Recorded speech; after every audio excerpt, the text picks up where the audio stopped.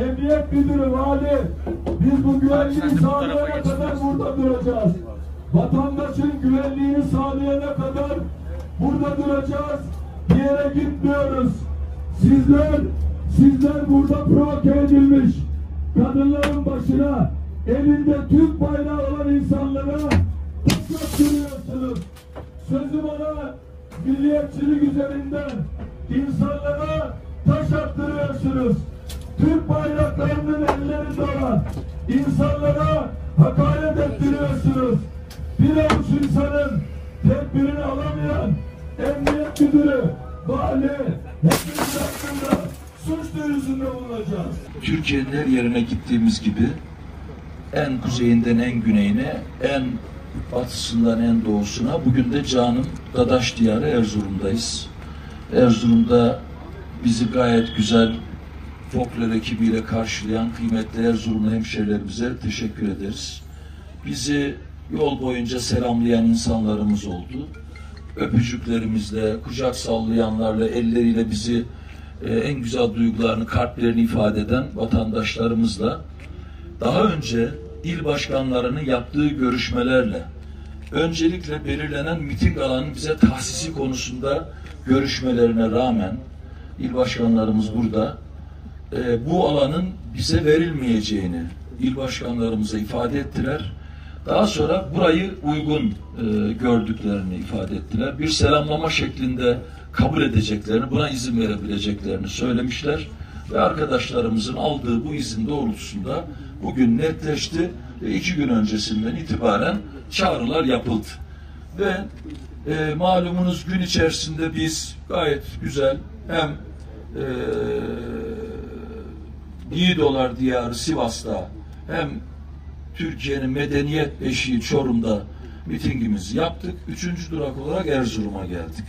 Erzurum'a geldik. Daha doğrusu Erzurum'a gelmeden Çorum e, Sivas arasında oraya Büyükşehir Belediyesi büyük bir nezaketsizlik göstererek 40-50 tane otobüsünü yığarak bir e, tanıtım yapacağı şeklinde bir duyuru alındı.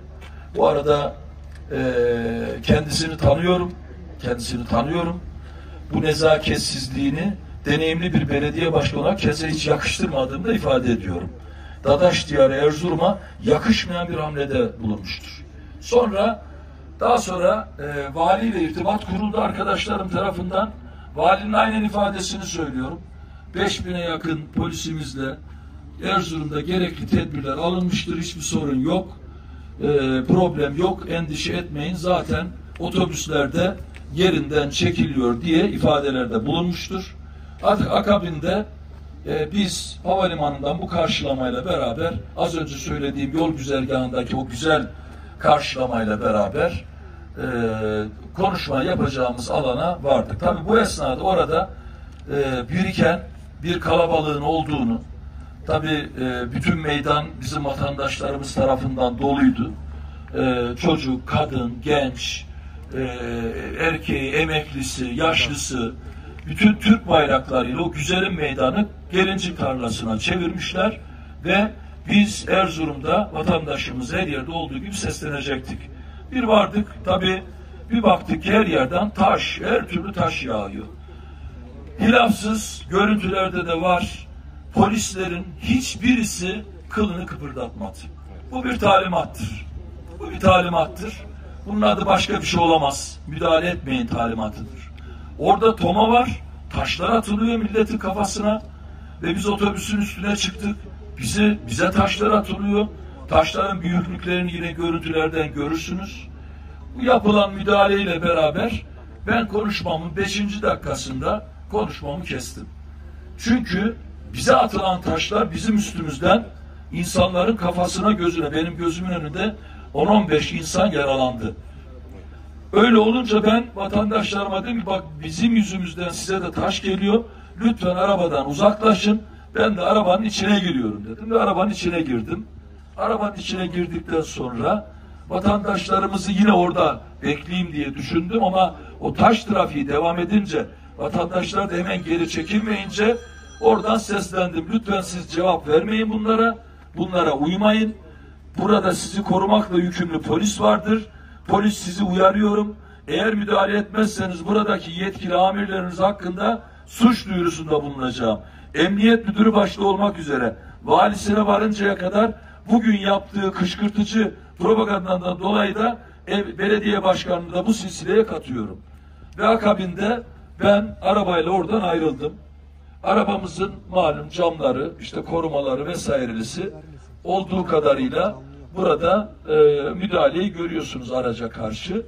Allah'a şükür arabanın içine giren arkadaşlarımla hiçbir şey yok. Zaten olay tamamen orada. Bakın tekrar söylüyorum. Bir tarafta 200 kişiyi geçmez. Ben kalabalık bilirim. Benim hayatım tribünlerde geçti. Kaç kişi vardır bilirim. Siyasetten önce bilirim, siyasette daha iyi bilirim. Bir tarafta da öbür uç tarafta da yaklaşık 200-300 tane de sözüm ona AK Partili olduğu söylenen insanlar vardı. Ne onlar AK Partili ne onlar ülkücü. Öyle bir şeyi kabul etmiyorum. Ne de onlar Erzurumlu. Az önce Vali Bey'e mesaj attım. Kendisinin Erzurum'a yakışmadığını, gerekeni yapması gerektiğini, istifa etmesi gerektiğini yazdım. O da kendisi beni aradı. Bilgilendirme için arıyor aradığını söyledi. Aramasında söylediği yer şey efendim biz sadece esnaf ziyaretini biliyorduk. Sabah İlker öyle bir şey söylemedi. Ve il, il başkanları burada kesinlikle öyle bir şey yok. Ki sabah öğleden sonra bize söyledi. 5000'e yakın polisle burada görevin başındayım hiçbir sorun yok diye teminat veren vali. Şimdi orası size verilmedi. Biz miting olduğu için tedbirleri o anlamda almadık. Yoksa miting olsa kuş uçurtmazdık. Kardeşim senin oraya 15 bine yakın 20 bine yakın insan toplanmış.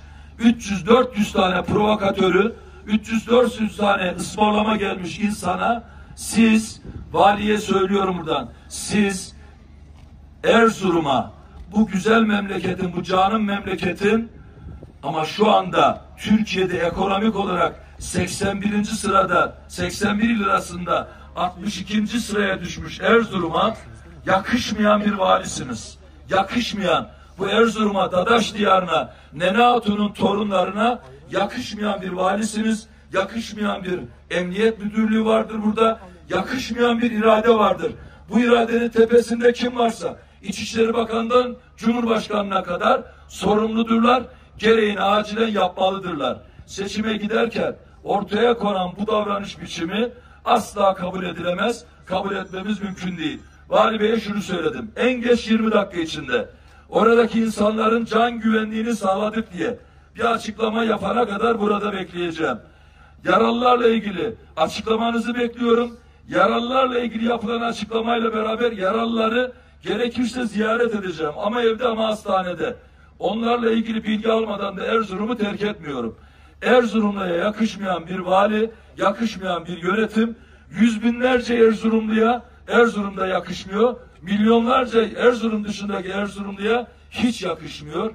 Bu kadar net, bugün yaşanan demokrasi adına utanç verici bir durumdur. Elinde Türk bayraklarıyla e, ve milli duyguları en üst seviyede olmuş insanları taşlatan bir anlayış bu memleketi bölme anlayışının sahibi olan bir anlayıştır. Buna karşı mücadelemiz devam edecektir.